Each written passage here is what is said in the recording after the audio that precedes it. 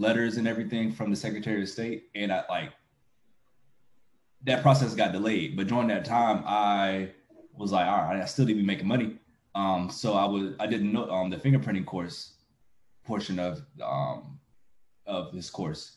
And I went through that, learned how, learned the business, learned how to you know make the website, get traction, get business, and you know market my business and everything. So I did that, and then at the end of August, I finally got my notary license, and then I ordered all of my materials. Mm-hmm.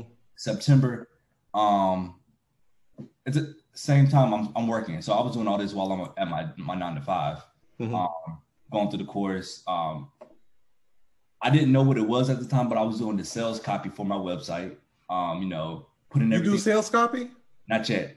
We can talk about that later. Not yet.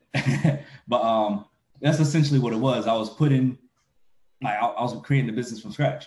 Mm-hmm. So I used everything to make the business, and then I launched September. Let's say September 16th is when I launched. I got my first client like September 20th.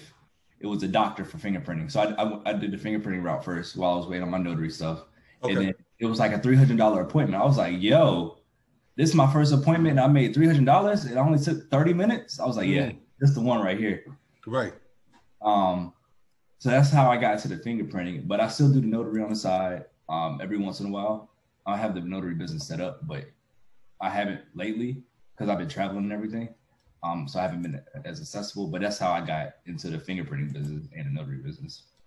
Right, right. So when you're doing the notary, uh, the fingerprinting part, are you doing the cards like the FBI uh, cards, mm-hmm. or are you mm-hmm. doing the live scan?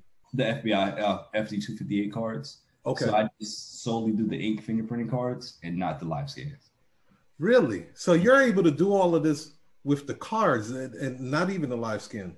Mm-hmm. Interesting. Because a lot of like the background check agencies, employment agencies, licensors, they're it's not big in North Carolina yet for the live scans. Mm-hmm. So there's not really many, many live scan providers, but also it's it's a more traditional route. They're still trying to upgrade everything in North Carolina.